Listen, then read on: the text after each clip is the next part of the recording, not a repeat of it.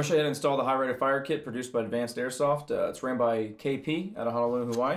In it, you're going to get a little business card attached to a piece of paper or attached to a little cellophane thing. Instructions. I've already read through them. I'm going to put them off to the side though. Uh, a larger diameter airline. The inside diameter is what actually what's larger. So we'll call it a wide bore line for conversation's sake. I got two washers and a brass ring. Um, I'm not going to go 100% in order of his instructions, as some things I just do a little differently, or they seemed a little out of place to me. But nonetheless, uh, we'll get you the end result here. So first, I already up, I already separated the upper receiver from the lower. Uh, I like to start first by pushing out the the actual selector lever. So you flip it over, you'll see the little, you'll see the other side. Just kind of push, and out she comes, real easily. Uh, ensure your rear body pin is pulled, and then just I like to grab the trigger so kind of just push upwards and the trigger box, out she comes. I'll put her off the side. Next you flip it over. The actual gas, the air passageway, or the little piece you swap out to go from CO2, HPA, puncture valve, blah, blah, whatever, that little piece.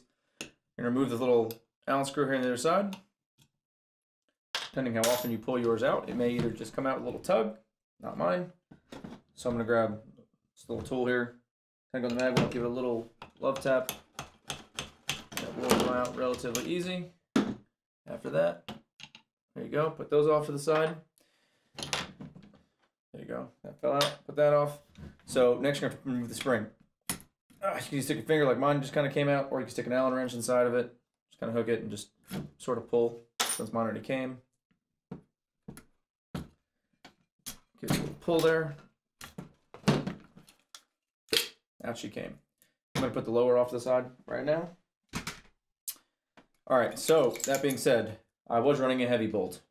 Uh, KP does not recommend running the heavy bolt with the high rate of fire kit, so my heavy bolt is out.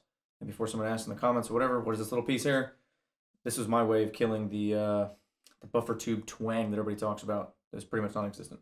So, first off, we're going to have to remove this assembly, or disassemble it, I should say. Start with an Allen wrench. There's an Allen screw up in there. You might need something on the back here and lefty loosey. I'm kind of putting a little pressure downward on the spring so it doesn't throw any parts going across the room or anything like that. So we'll loosen that. There we go. There's the whole assembly now. There's instructions tells you to put the one of the brass collars on the bottom here. Boom. Put the spring assembly basically back on it. We're going to assemble the pieces back together again. That was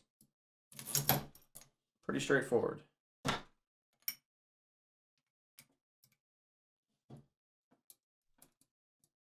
Just trying to keep everything inside there.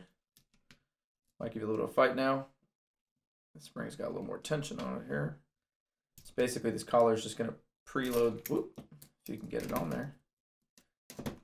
It's basically preloading the spring a little bit. Once you get it threaded, you should be all right.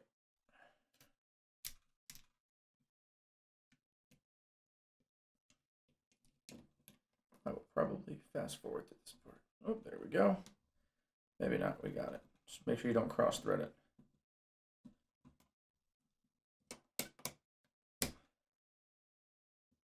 There you go. If you need, put something in the back there, a pair of vice grip, pliers, whatever. Get a little tight. All right, I'm gonna put this off to the side now. All right, so next I'm gonna grab the trigger box.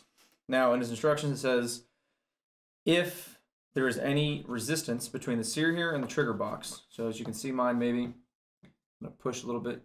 You might be able to see there's a little gap between either side of the sear and the trigger box. If you listen carefully, I don't hear any rubbing or anything. If there is, uh, you're supposed to shave down it so there's no, you need this to be able to kick back as fast as possible. So if it's binding on the side of the trigger box, well, it's obviously going to slow it down. So first we're going to disassemble it. In case you've never disassembled this, it's quite easy. There's going to be two little pins. There's going to be one right here and one right here. I say they're pins, they're more like little push tabs. I'm just going to use a busted flathead here. Basically just going to push the tab in. Once you push it in, it'll gently just sort of pry up a little bit. Don't try to rip the whole box off, as the other one's not pulled yet. So we're going to push that one in now basically pull up gently as you push that tab in as well. There you go. So the box now is separated, but due to some pins over here, it's kind of holding it still. These little guides. So just sort of, sort of walk it off. There you go. Try to hold on to everything. There you go. That went flying. Okay, the sear came off, and luckily the spring stayed right, stayed right here. It didn't go very far. I'm gonna reassemble it for a second for you, just to show you. But in the event you're trying to, you take this apart, you've never taken it apart before, and you're a little eerie because you're scared something's gonna go crazy. Here's a little shot of what the insides look like.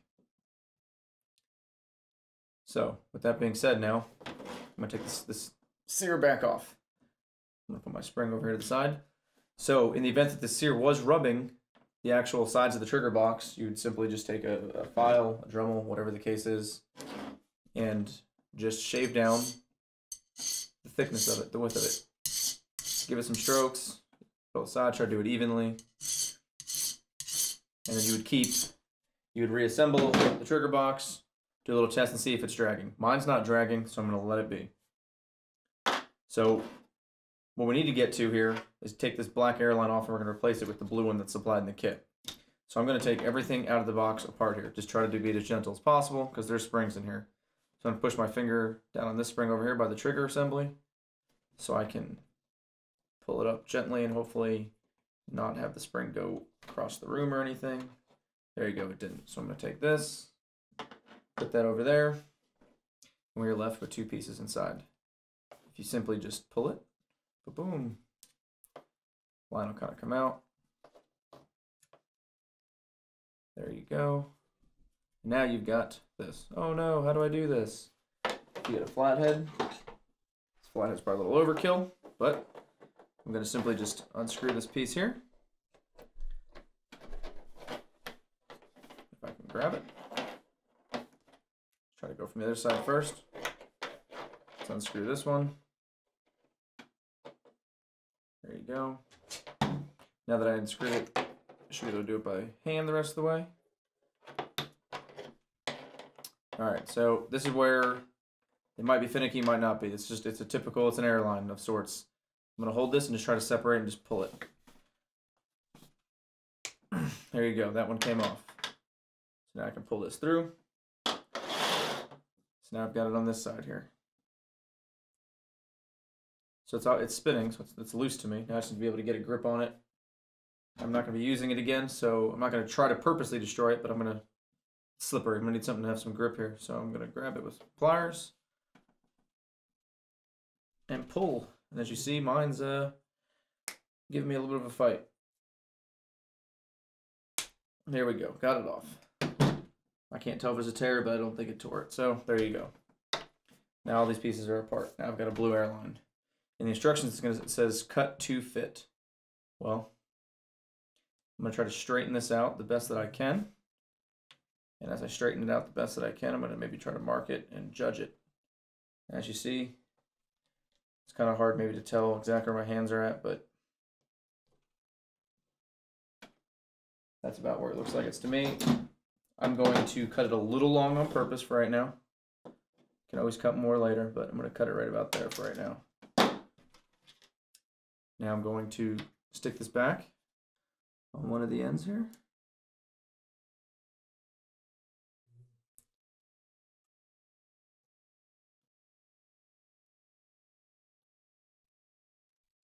Might take some uh,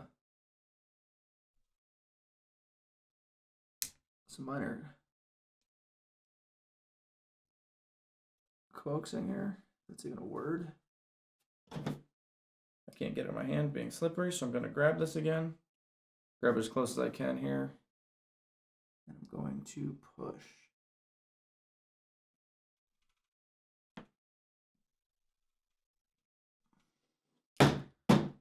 There you go. She's on. I don't believe it collapsed it. Looks fine to me.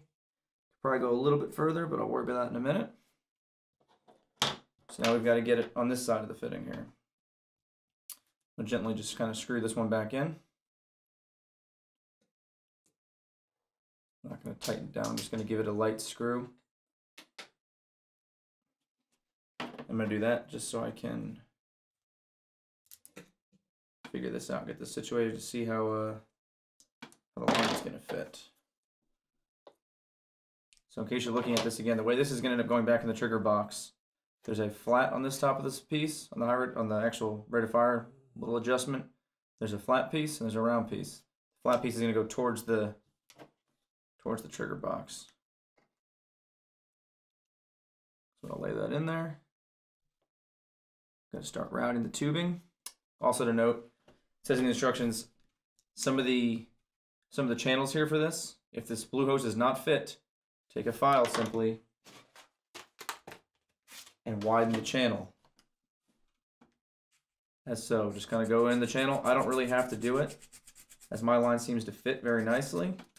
Now that I'm just showing you how to do it, I guess it's not going to hurt me for doing it, but other than that, kind of keep going until the blue hose fits nicely in it. So, flat spot, back over. I'm going to gently press the hose.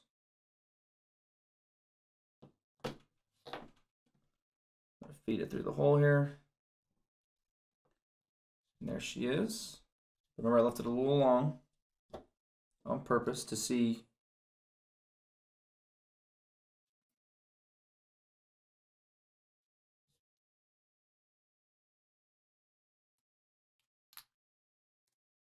can get this fitting to be the right direction. So here you can see where it would run into it. Mine's obviously long, that's fine. So with that being said, I'm going to cut, I'm just going to trim away slowly here. no point of cutting way too much and then not being able to fit. So I'm going to pull this back out, let it be kind of loose. And I'm going to see if I can attach this.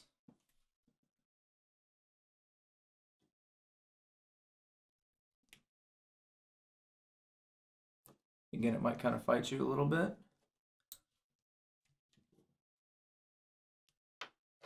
So, my experience right now, grabbing a pair of pliers. Don't go crazy and try to cut the cable or cut the hose here, but it also might not hurt if you put a little bit of lube on the end of it. Which if I can't get it over we'll go to that next.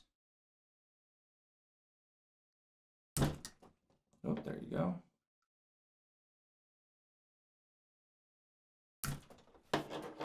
And I can't get it over there, so I'm going to put a little bit of lube on it.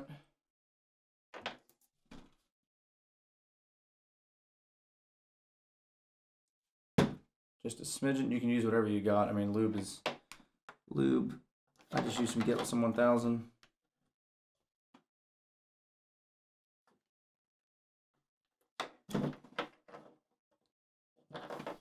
And then repeat. There you go. Went on actually rather much easier that way. So peace of mind might not hurt you to put a little bit of lube on it. So now let's just uh, cross our fingers that I I know I left it a little long, but let's see if that'll work. Or is that too long still?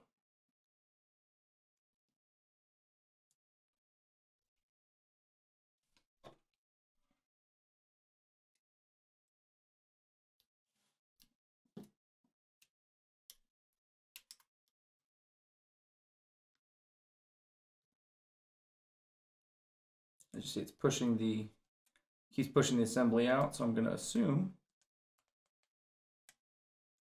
we are too long.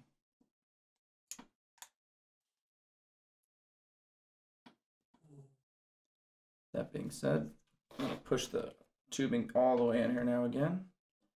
And let's see by how much on this side. Go either or. So as you see, that's how long I am again. So keep basically repeating this until you get it fit. All right, so the blue hose is installed here. As you see, I just had to keep cutting back and forth or whatever. Uh, the little flat spot here on the rate of fire adjustment, make sure that's facing towards inside of the gearbox, the inside, not the outside. Once the blue hose is installed like that, we're just gonna put the gearbox back together. I'm gonna start with the trigger. You should have the one spring here on the outside.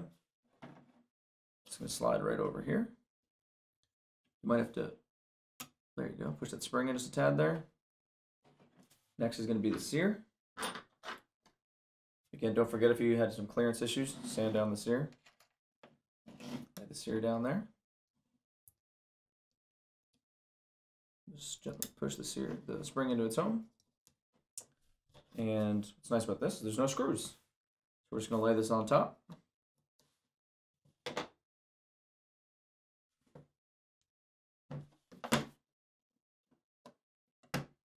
And simply just, once it's on top, just push down. And all of your two pins we had earlier that we showed you, pin there and the pin there, or the tab, the two tabs, they'll lock it into place. And the reason for that flat spot on the fire is there is because that way the trigger has some clearance to be pulled. You might be able to do it in semi, but once you go to auto, it won't work. All right, we're gonna put that back up the side. Other modification, here's your, here's your selector now.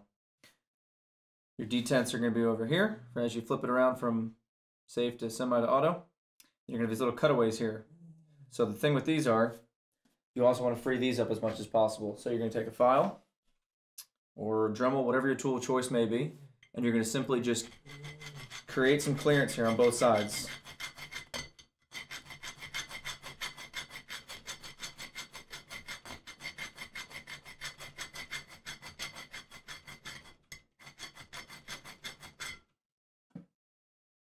It's not going to take a ton, but enough that there's, you need everything as free moving as possible here. If you want to obtain as much rate of fire as this kit's going to give you, the most potential it can give you, you're going to need as much smooth moving pieces.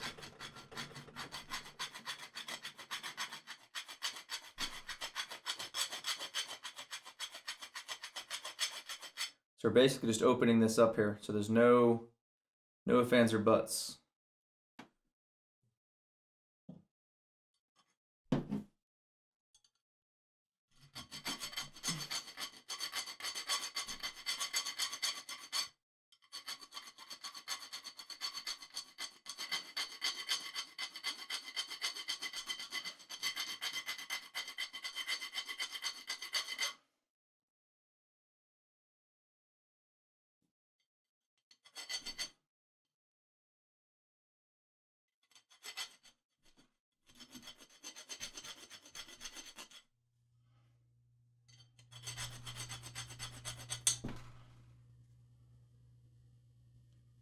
All so once you're done filing on all the sides, if you look in the instructions, it'll show you another picture of what KPs looks like. To wipe any of the debris off. Basically just going to widen, if you can see here, you're gonna just widen it out basically. Gonna give it some extra clearance. All right. All right, so I'm gonna grab the lower receiver. Now here's where it came with the shims. I'm gonna start with the max here. I'm just gonna take both of these and dump them right in the buffer tube. Everybody's setup's gonna be a little different. You may require none, you may require one, you may require zero. Uh, before these were going on and before the heavy bolt was using them, we were using stuff like quarters. Um, I personally have my buffer tube screwed all the way to the front as much as possible. It's flush with the low receiver. But I'm gonna stick both these in here for a test. Just drop them in. Spring. There she goes. Now we're going to pretty much do a reassemble. Trigger box. Just push it in. Selector. Just slide her in. To take your, your little valve here again. It's going to go like this. In case you don't remember how it goes.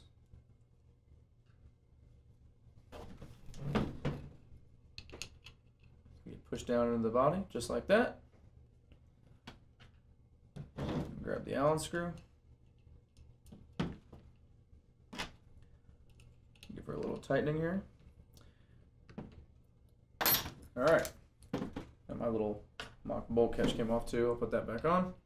Now I put two in there. So the idea we're gonna do is we're gonna put the upper back on and we're gonna see if I can latch it. The idea is to get it basically right before you can, you can't latch the bolt and take one shim out. So what you're trying to do is push everything as far forward as possible put the upper on the lower now.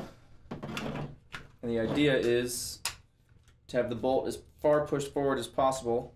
And we're going to basically test, we want the bolt we want it basically so we can just lock it as much as we can. I'm trying to explain this here. You want to be able to pull this back and to get to the point where you can't pull it back and then basically pull the shim out. So there's two shims in mine. And I, I, I can't physically pull it back. It's I mean I can pull it back, but it's it won't latch. So we're gonna repeat. I'm gonna take the I'm gonna take this back out. I'm not gonna explain these steps. You already saw it do it once.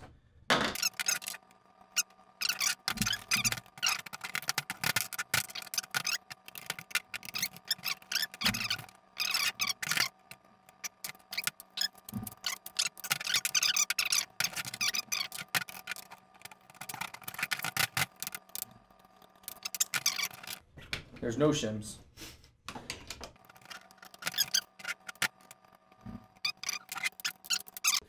So because of where my buffer tube's at, so now out of curiosity, after you're done with that, the next step is you're gonna have to tune it.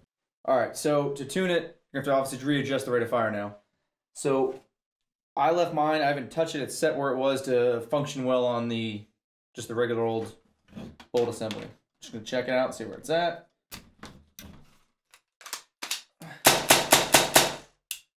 To be honest, right off the bat, the uh, the trigger assembly and everything actually feels real nice.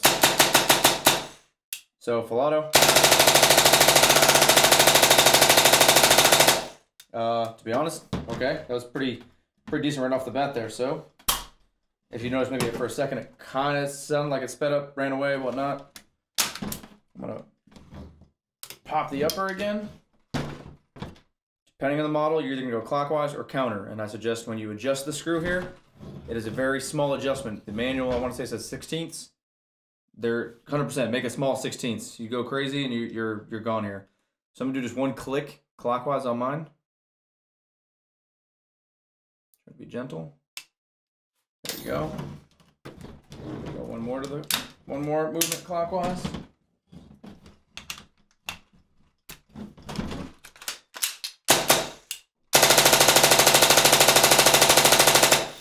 All right, so basically you're gonna keep repeating your process until you get it as fast and smooth as you want. Uh, right here, I'll show you all three of them back to back, and uh, other than that, that's how you install it. Hopefully the demonstration here was uh, easy to understand. If not, I guess PM me, PM uh, KP. Any questions, comments, concerns, throw in the comments below. Have a good one, guys.